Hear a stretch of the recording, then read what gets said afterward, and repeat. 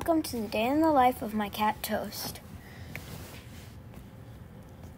First up, we have as soon as he gets up, he gotta come outside and be lazy right after he eats. Th- then we have hide in the shade.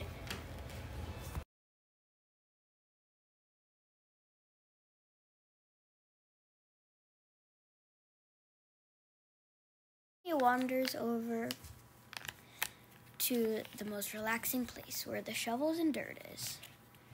He just likes to wander around the yard and up to the driveway to lay on the hot pavement.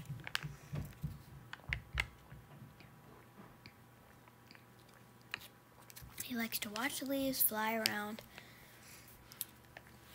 so he can attack them after he gets some rest from laying down from being tired.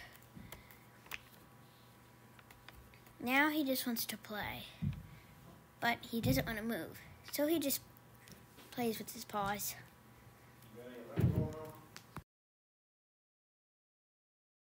Now he's just rolling around being silly. I thought I'd record this part for y'all. Right here, he's just wandering. He wanders a lot throughout the day. Sometimes we don't even see him until the next day. But that's fine because no one takes him. We make sure they know that he's our cat. Now he's just eating some grass, chilling.